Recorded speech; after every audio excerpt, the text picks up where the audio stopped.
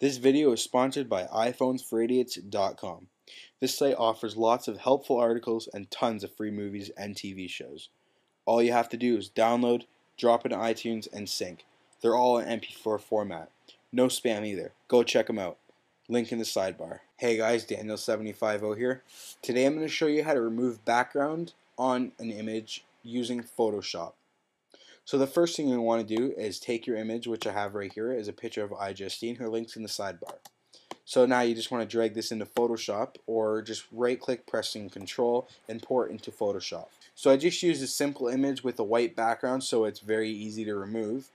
So it works great if you have a solid background that you want to remove. So to remove the background, all you're going to want to do is press the eraser button. You're going to hold on the eraser button until the menu pops up and then you're going to select the magic eraser tool on the bottom. Now, once the magic eraser tool is selected, just click anywhere in the background you want to erase. So as you can see right now, I've erased the whole white background and you're able to just drag this around and you have the picture. If you want to resize the image, all you have to do is press Command T and this will allow you to resize it any way you want. And you can also add new layers in and add backgrounds and do anything you want.